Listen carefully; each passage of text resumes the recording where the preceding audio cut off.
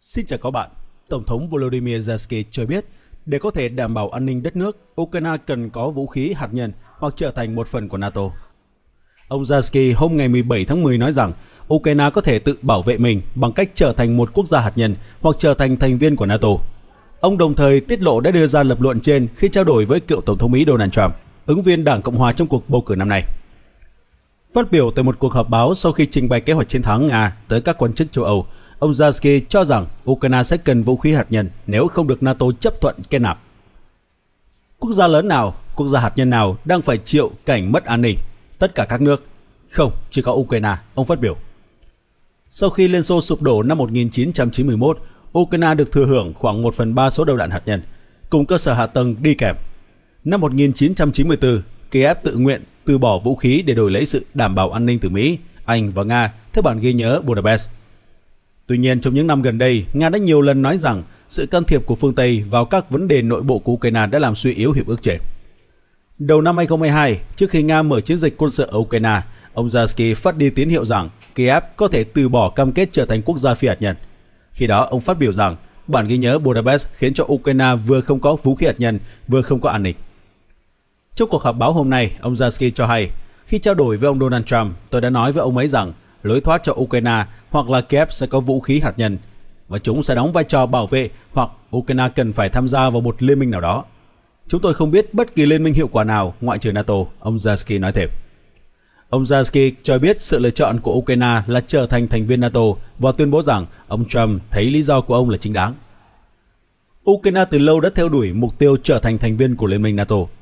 Kiev thậm chí đưa điều này vào hiến pháp. Ukraine chính thức nộp đơn xin gia nhập NATO vào tháng 9 năm 2022, 7 tháng sau khi Nga bắt đầu chiến dịch quân sự đặc biệt. NATO đã cam kết đưa Ukraine vào liên minh từ năm 2008, phớt lờ cảnh báo của Nga rằng Moscow coi đề xuất này là mối đe dọa lớn đối với an ninh quốc gia. Theo các quan chức Nga, xung đột Ukraine nổ ra phần lớn do khối quân sự này tìm cách kết nạp Kiev. Tổng thống Nga Vladimir Putin cảnh báo khả năng Ukraine trở thành thành viên NATO là mối đe dọa đối với an ninh của Moscow. Ông nhấn mạnh rằng những rủi ro khi Kiev gia nhập liên minh là một trong những lý do khiến cho Nga tiến hành chiến dịch quân sự đặc biệt. Vào tháng 4, Tổng thống Volodymyr Zelensky thừa nhận Ukraine sẽ không thể gia nhập NATO nếu cuộc xung đột với Nga chưa chấm dứt. Trong khi đó, hôm ngày 16 tháng 10, đại sứ Ukraine tại NATO Natalia Galibarenko cho biết Kiev mong muốn được mời gia nhập NATO trước khi Tổng thống Mỹ Joe Biden kết thúc nhiệm kỳ vào đầu năm tới. NATO phản ứng về kế hoạch chiến thắng NATO không có kế hoạch kết nạp Ukraine trong tương lai gần, đại sứ Mỹ tại NATO Julian Smith cho biết hôm ngày 16 tháng 10. Tôi nghĩ lập trường của NATO rất rõ ràng. Chúng ta đã nói tại hội nghị lần thứ 75 vào mùa hè năm nay rằng Ukraine đang trên con đường không thể đảo ngược và Ukraine sẽ gia nhập NATO, bà Smith nói. Nhưng chúng tôi hiện chưa có kế hoạch bàn về vấn đề này trong ngắn hạn. Bà Smith nhắc lại quan điểm của Liên minh quân sự do Mỹ dẫn đầu trước thêm hội nghị các bộ trưởng quốc phòng NATO ở Brussels, Cuba. Dĩ nhiên, chúng tôi vẫn sẽ tiếp tục thảo luận với những người bạn ở Ukraine về cách họ có thể tiến gần hơn tới liên minh, bà Smith nói thêm. Tuyên bố được đại sứ Mỹ tại NATO đưa ra sau khi Tổng thống Ukraine Volodymyr Zelensky chính thức công khai kế hoạch hòa bình gồm 5 điểm, trong đó gia nhập NATO là điều kiện tiên quyết đầu tiên. Nếu kế hoạch được ủng hộ, xung đột sẽ kết thúc trong năm sau. Ông Zelensky phát biểu trước Quốc hội Ukraine hôm ngày 16 tháng 10.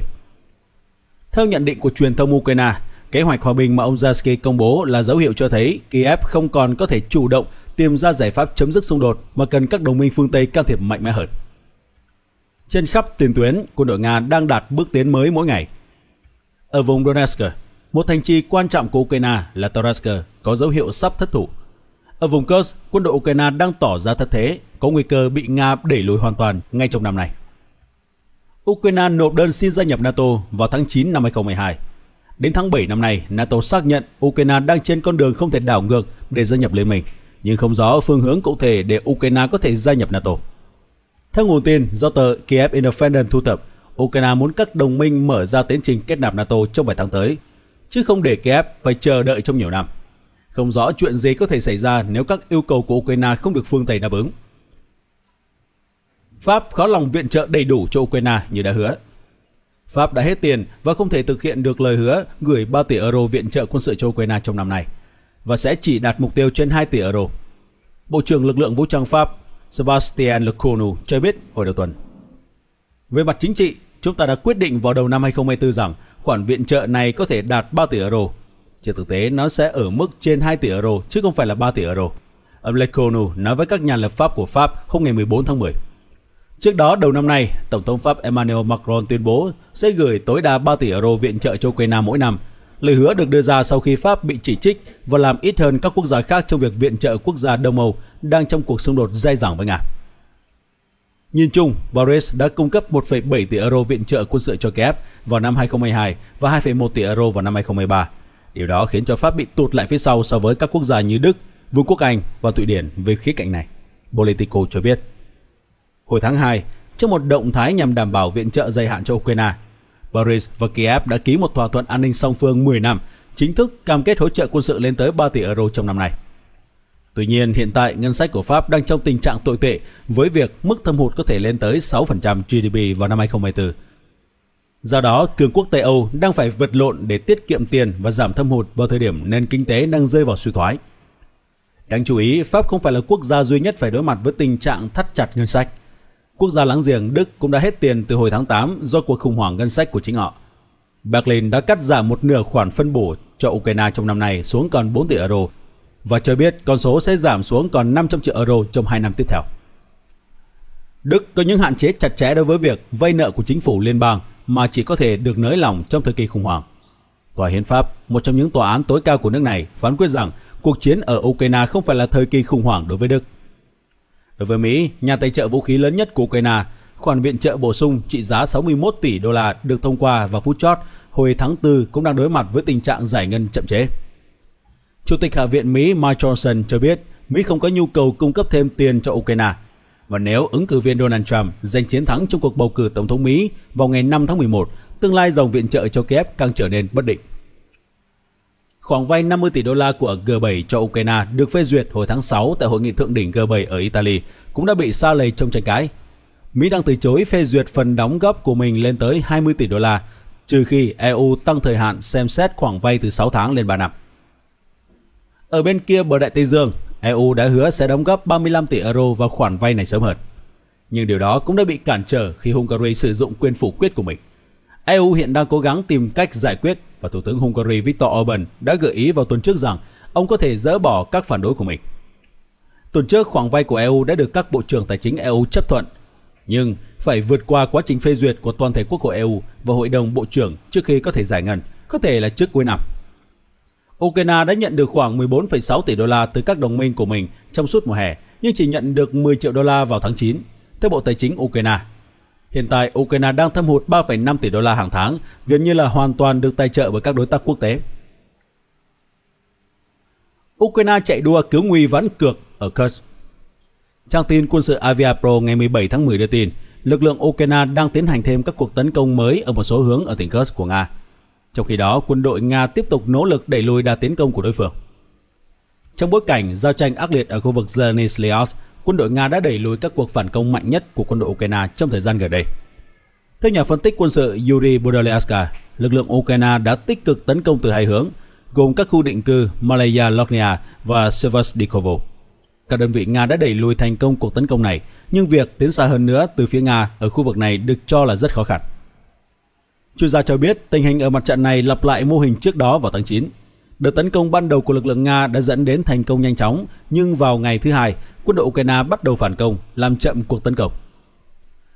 Đồng thời, tuyến đường cao tốc Zeleny Sliakha, Malaya có tầm quan trọng chiến lược vẫn nằm trong vùng chiến sự và việc chiếm giữ tuyến đường này vẫn là ưu tiên hàng đầu của quân đội Nga.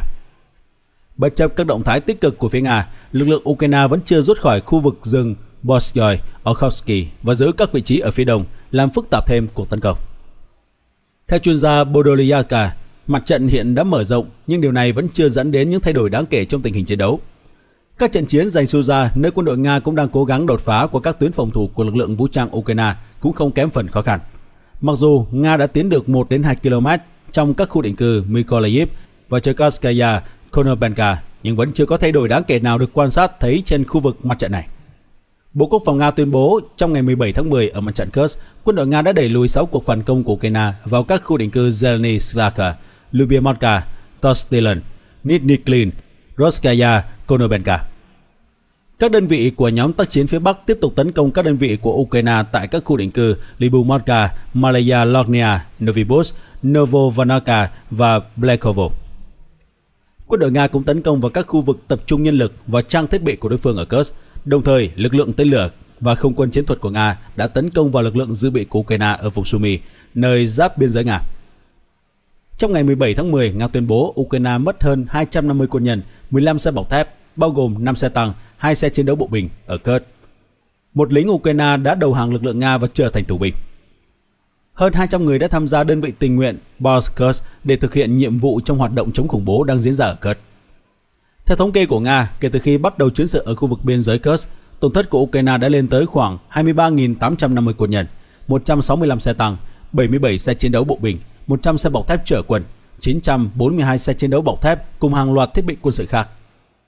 Thiếu tướng Abdi Aladinov, Phó Tổng cục trưởng Tổng cục Quân sự Chính trị của lực lượng vũ trang Nga, chỉ huy lực lượng đặc nhiệm Amas tuyên bố Moscow đã giành lại một nửa lãnh thổ ở Kursk mà Ukraine kiểm soát từ ngày 6 tháng 8 tới này. Theo ông Aladinov, cuộc tấn công của Nga ở Kursk trong thời gian qua đã buộc Ukraine phải rút quân ở nhiều khu vực. Ông cho biết các cuộc tấn công của Nga ở Kursk trong thời gian qua đã buộc Ukraine phải rút quân ở nhiều khu vực. Nga nhiều lần nói rằng ván cược của Ukraine vào Kursk đã thất bại. Cuộc tập kích bất ngờ vào tháng 8 của Ukraine đã đạt được một số mục tiêu, bao gồm làm xấu đi hình ảnh mạnh mẽ của quân đội Nga trong việc bảo vệ đất nước, phá hủy tài sản quân sự và giành lãnh thổ cũng như là bắt tù binh để làm lá bài đàm phán. Tuy nhiên, Ukraine đang đối mặt với sự hoài nghi lan rộng khi họ tập trung nguồn lực vào Kursk và đang để lại tiền tuyến miền Đông với đầy những lỗ hổng mà có thể khiến cho Kiev phải trả giá đắt bởi Nga liên tiếp đạt được đà tiến trong thời gian qua. Ukraine đã kéo căng lực lượng để đưa lên tấn công Kursk, khiến cho hàng phòng thủ miền Đông lộ ra điểm yếu để Nga khai thác. Trong vài tuần qua, Moscow liên tiếp giành được lãnh thổ chiến lược ở Donetsk, để Kiev vào thế khó. Lính Ukraine rời bỏ vị trí ở Kharkov. Một đại diện của lực lượng ngầm thân Nga nói với RIA Novosti rằng các binh sĩ của lữ đoàn bộ binh 143 của lực lượng vũ trang Ukraine đã đe dọa lệnh rời khỏi vị trí của họ hàng loạt về hướng Kharkov vì họ thiếu sĩ quan và đạn dược. Ông nói, theo quân đội Ukraine, họ không có gì để bảo vệ vị trí của mình trước xe tăng Nga, bởi vì chính quyền Kiev đã ném tất cả dự trữ và vũ khí sẵn có của mình vào khu vực Kursk. Theo nguồn tin, các quân nhân Ukraine phàn nàn rằng họ có ít sĩ quan, thiếu máy bay không người lái, hệ thống chống tăng và đạn dược, đồng thời tình trạng đào ngũ tràn lan trong các đơn vị. Theo Bộ Quốc phòng Nga, trong 24 giờ qua, nhóm Zabas đã đánh bại 8 lữ đoàn Ukraine ở khu vực Kubiansk và các làng Petropavlovka, Novosinovo, Krukrikovka, Lozovaya, Luzuzeli Boska ở vùng Kharkov, Novosandove và Toskoye ở vùng Kharkov và Dnipro. Lực lượng vũ trang Ukraine đã mất hơn 460 người thiệt mạng và bị thương cùng 9 thiết bị trong các trận chiến này. Đồng thời, nhóm miền Bắc đã đánh bại đội hình địch tại các khu vực Lipsy, Roskaya, Lozovaya và Vochaskiye Kuto ở vùng Kharkov. Ở đó, tổn thất của lực lượng vũ trang Ukraine lên tới khoảng 45 binh sĩ và 3 khẩu pháo, các kho chứa máy bay không người lái và đạn dược cũng đã bị phá hủy. Cảm ơn các bạn đã đón xem video. Nếu thấy video hay và thú vị, đừng quên nhấn like và đăng ký để ủng hộ đội ngũ kênh. Còn bây giờ, xin chào và hẹn gặp lại các bạn trong những video tiếp theo.